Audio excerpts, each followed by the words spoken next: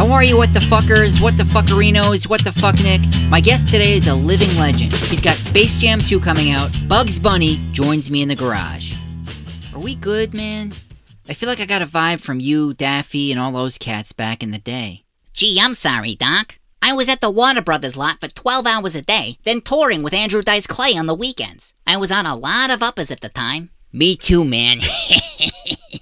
All right, Bugs, come on. Who were your guys growing up? Oh, you know, Chaplin, Keaton. What do you say to the folks that say you stole your act from Groucho Marx? Groucho stole my whole carrot bit, but he used a cigar instead. And then he gets famous first, so naturally everyone thinks I copied him. I gotta know, man. Are you and Elmer Fudd on the level? Was he always trying to murder you, or was that just an act? Most of it was provoked by Warner Brothers to keep up the gimmick in real life. You know, whether it be duck season, wabbit season, duck season, wabbit season. So it's 96.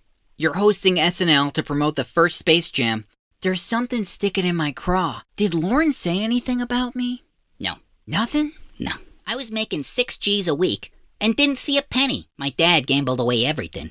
Your old man still kicking? I think so, Doc. Yeah, how's he doing? I didn't talk to him for decades. I recently started sending him letters. I haven't heard back yet.